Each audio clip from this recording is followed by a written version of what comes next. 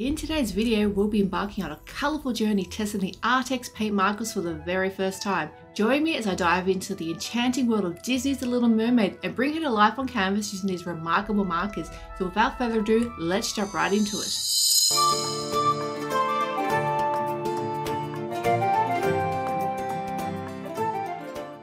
Hey there art lovers and welcome back to my channel. I'm so glad you're here and today we've got something really cool planned just for you. We're about to dive into the amazing world of the Arrtx paint markers which are known for being affordable and quite popular on social media. And to make it even more exciting we'll be painting Ariel from The Little Mermaid on a super cute wood slice. The savings you'll experience with Arrtx compared to the other big names like Posca and Caran are mind-blowing. Seriously, Posca says can break the bank with an 8 set of Poscas costing the same price as the 30 set of Arrtx markers.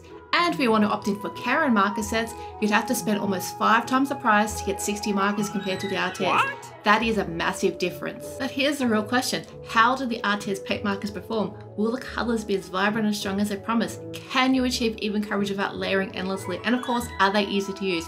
Stick around and join me as we paint Ariel and her friends using the Arrtx paint markers to find out. We're going to put these markers to test and see what they're made of. Let's have some fun and uncover their incredible capabilities together.